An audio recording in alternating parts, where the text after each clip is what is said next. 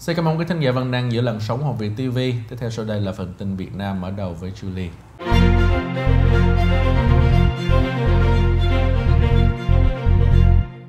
Mở đầu phần tin Việt Nam là tin Việt Nam ủng hộ nghị quyết của Liên Hiệp Quốc có đoạn nói về Nga xâm lược Ukraine.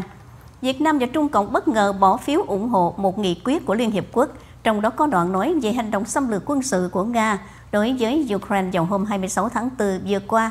Nghị quyết do 48 quốc gia đề xuất khuyến khích Liên Hiệp Quốc và Hội đồng châu Âu tăng cường hợp tác ở tất cả các cấp để giải quyết hiệu quả nhiều chủ đề khác nhau. Nghị quyết đã được thông qua với 122 phiếu thuận, 18 phiếu trắng và 5 quốc gia bỏ phiếu chống. Lần đầu tiên, tất cả các quốc gia thuộc khối ASEAN thống nhất bỏ phiếu ủng hộ nghị quyết có liên quan đến cuộc xung đột diễn ra ở Ukraine. Nghị quyết này trong phần về Ukraine có đoạn đề cập đến những thách thức chưa từng có mà châu Âu phải đối mặt sau hành động gây hấn mang tính xâm lược của Nga đối với Ukraine và Georgia. Bà Natalia Jenkina 8 tháng chính trị Ukraine tại Việt Nam, bình luận với BBC về việc bỏ phiếu cho nghị quyết mới nhất này. Bà nói chúng tôi hoan nghênh sự đoàn kết trong việc xác định hành vi xâm lược của Nga đối với Ukraine và Georgia, cùng những thách thức mà hành động đó gây ra đối với hòa bình và an ninh toàn cầu. Điều quan trọng là phải hiểu lý do của một vấn đề để tìm giải pháp thích hợp. Kể từ khi Nga xâm lược Ukraine vào ngày 24 tháng 2 năm 2022, Hà Nội đã kiên trì với đường lối đối ngoại mà Thủ tướng Phạm Minh Chính từng nhấn mạnh là không chọn bên mà chọn công lý và lẽ phải. Giáo sư Carl giờ nói với BBC rằng việc bỏ phiếu này phản ánh Việt Nam chọn ủng hộ chủ nghĩa đa phương để làm giàn giáo, chống đỡ áp lực từ các cường quốc. Việt Nam phản đối đồng tiền kỷ niệm 2 đô la Úc có hình cờ Việt Nam Cộng Hòa. Thời gian gần đây, mạng xã hội lan truyền hình ảnh bộ đồng xu 2 đô la Úc kỷ niệm 50 năm ngày Úc rút quân khỏi miền Nam Việt Nam. Tuy nhiên, trong giải cuốn huy bao quanh hình trực thăng UH-1 có hình cờ Việt Nam Cộng Hòa. Bộ vật phẩm này là do công ty Royal Australia Mint và Bưu chính Úc sản xuất, chia thành hai loại. Phiên bản gia hạn gồm 5.000 bộ được mạ vàng và bán với giá 80 đô la Úc. Phiên bản thường có 80.000 bộ mạ bạc giá 15 đô la Úc. Những người nhanh tay mua được đã rao bán lại trên mạng và hét giá từ 1.200 đến 2.300 đô la Úc cho một bộ. Ngày 4 tháng 5 thì trả lời câu hỏi của phóng viên về sự việc trên thì Phó Phát ngôn viên Bộ Ngoại giao Phạm Thu Hằng cho biết Việt Nam lấy làm tiếc và kiên quyết phản đối. Về hành động của công ty Royal Australia Mint và bưu chính của Úc. Và theo bà Hằng, công ty Royal Australia Mint và bưu chính Úc đã phát hành những vật phẩm với hình cờ vàng, cờ của một chế độ đã không còn tồn tại. Việc này hoàn toàn không phù hợp với xu thế phát triển tốt đẹp của quan hệ đối tác chiến lược Việt Nam và Úc. Đại diện Bộ Ngoại giao cũng cho biết đã trao đổi với phía Úc và đề nghị có hình thức dừng lưu hành các vật phẩm này và không để xảy ra những sự việc tương tự trong tương lai. Hơn 23.000 người ghi danh đi làm việc tại Nam Hàn Kỳ thi tuyển chọn 12.000 lao động đi làm việc tại Nam Hàn theo chương trình EPS, nhưng số người ghi danh lên tới gần 23.500 người, cao nhất trong 10 năm qua. Trung tâm Lao động ngoài nước, Bộ Lao động Thương binh và Xã hội cho hay kỳ thi sẽ diễn ra tại Hà Nội từ ngày 8 tháng 5 đến 10 tháng 6. Tại Đà Nẵng tổ chức sau một ngày. Lao động ghi danh ngành sản xuất chế tạo đông nhất với 19.200 người, trong khi Nam Hàn cần tuyển 6.300 người. Các ngành khác số người dự thi thấp hơn, cụ thể gần 2.600 thí sinh thi ngành ngư nghiệp, 1.300 thí sinh thi ngành nông nghiệp và 343 người xây dựng.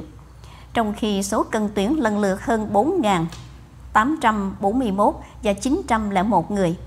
Bà Phạm Ngọc Lan, Phó Giám đốc Trung tâm Lao động ngoài nước cho biết, số ghi danh dự thi năm nay gấp đôi so với năm 2022 và cao nhất trong 10 năm trở lại đây. Trước đó vào năm 2022, chương trình EPS lựa chọn và đưa hơn 8.900 lao động đi Nam Hàn. Nam Hàn là thị trường xuất cảng lao động của Việt Nam từ năm 1992. Hơn 90% người đi tuyển chọn từ chương trình EPS bắt đầu từ năm 2004.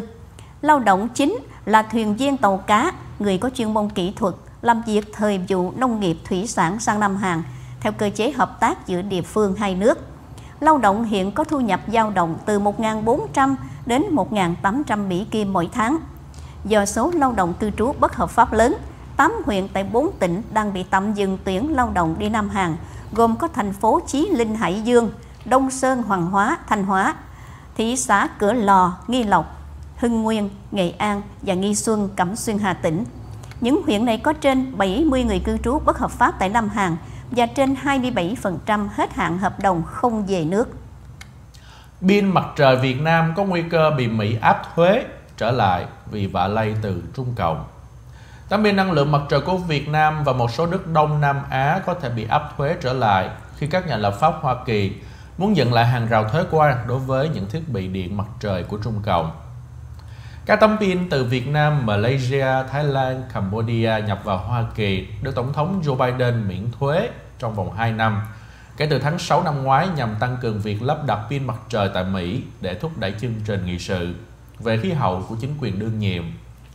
Quyết định miễn thuế của Tổng thống Biden được đưa ra hai tháng sau khi Bộ Thương mại Hoa Kỳ đã khởi xướng cuộc điều tra chống bán phá giá và chống trợ cấp đối với pin năng lượng mặt trời nhập từ Việt Nam và ba nước Đông Nam Á kể trên để xem các sản phẩm này có được sử dụng các bộ phận hoặc linh kiện từ Trung Cộng hay không.